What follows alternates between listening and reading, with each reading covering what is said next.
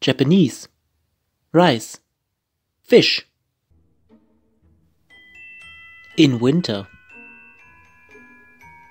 Well, actually, breeding in winter.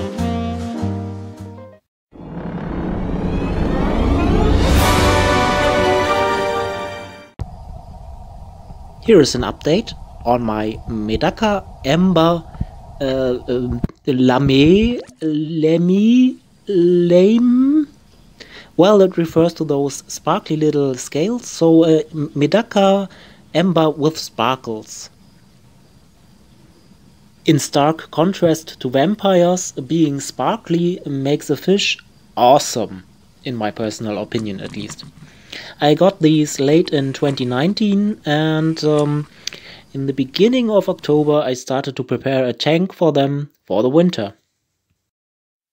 Some pennywort taken from their outside patio pond, I think is the term the cool kids use these days, and also some hornwort, which is said to be a very hardy plant and it's kind of fitting to these um, Medaka rice fish, they are also quite hardy. Turns out hornwort isn't all that resilient towards uh, rapid water parameter changes. So uh, that's a failure. Uh, in mid of October, I added some snails, and they um, crawled along quite nicely. A few of them actually carried eggs on their shell. Shortly after, I added the first few Medaka. And uh, I must admit, shortly after that, I added a whole bunch of them because um, I kind of just ran out of patience. Uh, sorry. Normally it should cycle longer, but I used some um, old um, materials in forming this aquarium, so. A second batch of hornwort dropped leaves as well. The old one did regenerate a bit, uh, but uh, screw this, I'm changing over to pennywort entirely. After an earlier water change, all my ram's horn snails uh, sadly died. Apparently there is still copper in my tap water, so I added a water purifier and now it's fine and I also added some bladder snails and they're doing just fine. And you might have noticed there's something on the behind of these little fish and it's eggs. Yes, yes, the first eggs and the bladder snails uh, laid eggs as well. But What's this male doing here? Can you see it? It's carrying something around.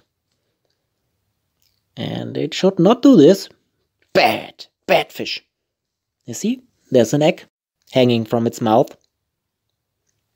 Bad fish, bad, bad fish. but you gotta love this derpy look on its face. Uh?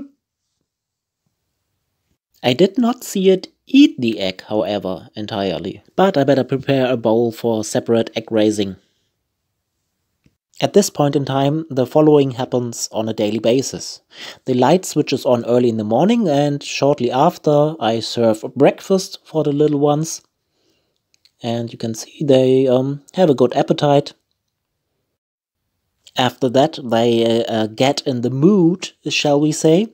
The dominant male starts to chase around the other males, and um, of course, also the females, and starts to um, try to impress the female in order to mate. But unfortunately, I could not record a successful mating. I only saw some matings that did not produce eggs. And here you can see a male that's courting a female uh, which uh, already is carrying eggs. Which seems a little bit weird to me, but hey, each its own.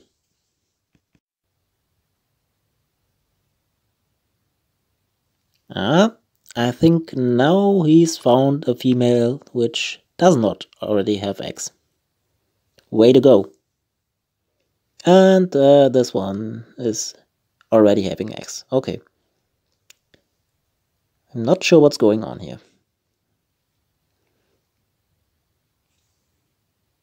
But uh, as long as there are eggs, I'm happy. And these little courtship displays um, are happening every morning basically. They are very busy little fish. Yes, yes.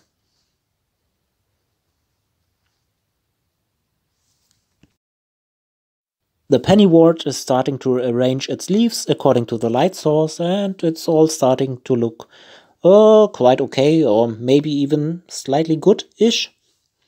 And of course many many eggs on this little uh, fish butt. And I am now trying to harvest them. How do I do I fashioned some sort of spawning mob from my trusty old sponge cloth and uh, let's try uh, it out. Maybe they will accept it and deposit the eggs there. They are um, observing it, but I think this is a failure again. No, not really all that interested.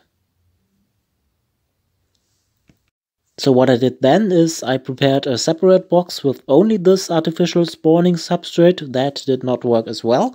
But what I found out is that the eggs come off relatively easy and they are just sticking in the net, which I used to catch the adult. And uh, later I found an already somewhat developed egg in the aquarium. So um, apparently they did not all get eaten. Here then I have a separate bowl, um, actually made in Japan, and I added some pennywort and of course the eggs, and you can see they stick nicely to the roots. Those fresh eggs can hardly be seen on the bottom of this bowl, so uh, let's have a closer look. Uh, still not all that good to see, so let's have an even closer look. Yeah, yeah we can actually follow the development a little bit. Um, the yolk gets smaller, the embryo gets bigger, and that's already quite big. And soon we should be able to see a little heartbeat. Um, maybe here. Right, right. On the left and on the right. If you look closely, there's some heart beating going on. Meanwhile, in the aquarium, there are also some eggs developing. Nice! But let's follow the embryonic development a little bit more. And those stuff around the egg is not all just dirt and algae, it's also the uh, sticky filaments that uh, these Medaka ricefish eggs have. And meanwhile, this male also uh, had a little egg in the mouth. Bad fish! and going on and um, developing, developing. Nice to see. And now it's only to play the waiting game. Ah, man, this takes forever. Ah, there's the first. Larva, the first fry of the Medaka ricefish in the F1 generation. It took quite a while for the first free-swimming larva to appear. I guess something went wrong with the first batch of eggs, but uh, on the plus side, this um, left ample time for the development of some microfauna, including copepods and ostracods and um, ciliates, probably also I saw some small little worms, which I did not identify yet. So there's plenty of good starter food around and um, they are not really all that dependent on this uh, baby fish food I added. Looks like I will be able to start the outside season with more fish than I started last year.